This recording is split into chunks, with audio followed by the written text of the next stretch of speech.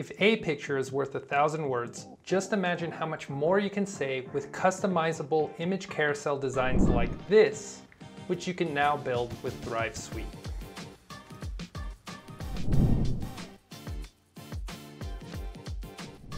Hi, I'm Matt from Thrive Themes, and in this video, I want to introduce you to the image carousel feature now available inside the Thrive Visual Editor's image gallery element. This feature lets you showcase a collection of images in a stylish and interactive way, perfect for those situations when you want to show images in an order or a sequence that you choose. For example, image carousels work great whenever you want to showcase four or more images, when you want to use images to help visually tell a story, or you have a group of photos that are gorgeous and you just want to give them some undivided attention one at a time. Now you might be wondering, isn't this a slider? Doesn't Thrive Themes hate sliders?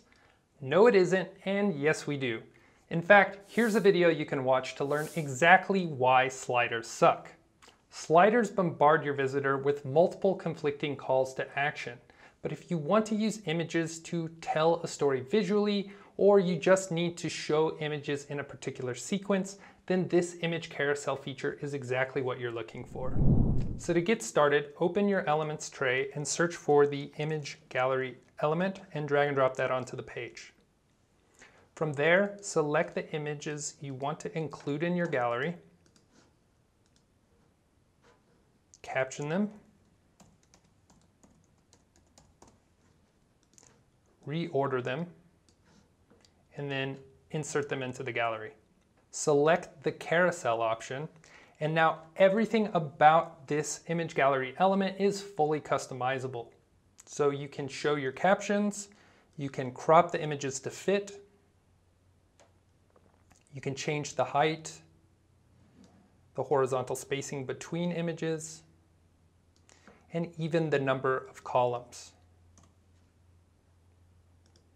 You can even choose some advanced carousel options like displaying or not displaying your navigation arrows or navigation dots. And then you can even set the carousel to autoplay if you want. And that includes setting the speed at which it transitions to. On top of that, you can fully customize those navigation arrows. So you can change out the icon for anything you want, change the color and its size, and you can do the same thing with those navigation dots as well. So let's have some fun with it and change it to a cool little rocket. Change the color, the size, and even the horizontal spacing between the dots. And from there, if we enter the image gallery editor, we can set links for each individual image. So say I wanted to link to the NASA website, I can do that.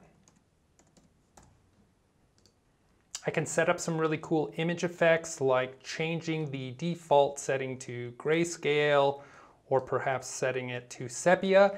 And then on hover, we could change it back to the full color image.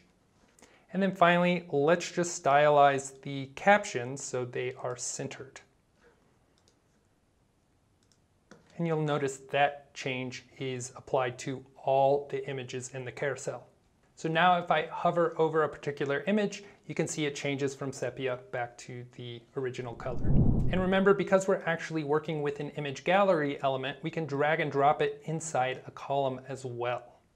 And of course, you can use our tablet and mobile editor to make sure that your image carousel designs look great no matter what screen size they display on. And now if I preview this design, you can see that the image carousel can be navigated by clicking on the arrows, dragging the images across, clicking on the dots I set up, and if I click on an image where I've set a URL, it will take me to that page. So there you go. If using images to help tell a story is your vibe, then the image carousel feature is exactly what you've been waiting for, and it's available now inside Thrive Suite, the very best online business building toolkit for WordPress solopreneurs like you. Just click the link in the description box below to learn how Thrive Suite can help you build an online business on a shoestring budget. Also, if you found this video helpful, giving us a like and subscribing to our channel is a huge help, and it also lets us know that we should make more content like this for you in the future. And finally, remember that published is always better than perfect. So take some meaningful action, get your MVP published yesterday, and I'll see you in the next video.